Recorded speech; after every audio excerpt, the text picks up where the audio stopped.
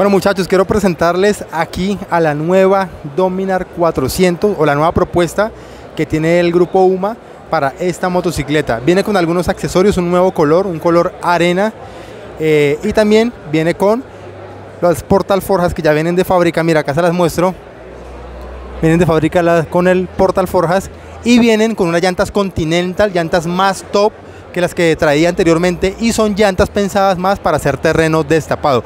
Tanto la llanta trasera como la rueda delantera juntas, llantas eh, con un labrado doble propósito. Entonces, ¿cuál es el objetivo de la marca? Vender esta Dominar o intentar lanzar esa propuesta al mercado colombiano de una Dominar que sigue conservando ese segmento Sport Touring, o sea, pensada para, para hacer una Sport Touring para carretera, pero con con algunas ventajitas que le permitan eh, meterse a trocha sin ningún problema y sí que en la moto sufra tanto. Entonces viene ya con llantas doble propósito, viene con un color arena que me parece bonito, siempre le he dicho que ese color me encanta, y viene también con porta alforjas, la nueva Dominar 400 muchachos, ¿qué tal les parece la propuesta del grupo UMA?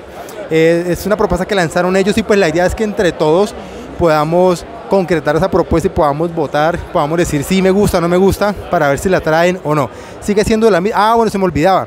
También viene con exploradoras, muchachos. Viene con luces exploradoras. Sigue siendo la misma moto, mismo motor, mismas prestaciones, pero con esos diseños que la hacen ver un poquitico más, no quiero decir rally, pero sí con mejores cualidades para meterse a la, a la trocha, sin dejar de ser una Sport Touring. A esta moto también ya le hice una investigación completa en mi canal de YouTube, muchachos, para que vayan y la vean. Es una moto que los primeros modelos salieron con muchos problemas, ya se han venido corrigiendo algunos, eh, pero ahí está, la está vendiendo Grupo UMA, le sigue apostando y la sigue actualizando. ¿Qué opinan ustedes muchachos? Déjenmelo saber aquí en la caja de comentarios y sigan aquí conectados porque estoy cubriendo en vivo y en directo la feria de las dos ruedas aquí en la ciudad de Medellín muchachos. No olviden apoyarme con un me gusta y suscribirse. Chao, chao.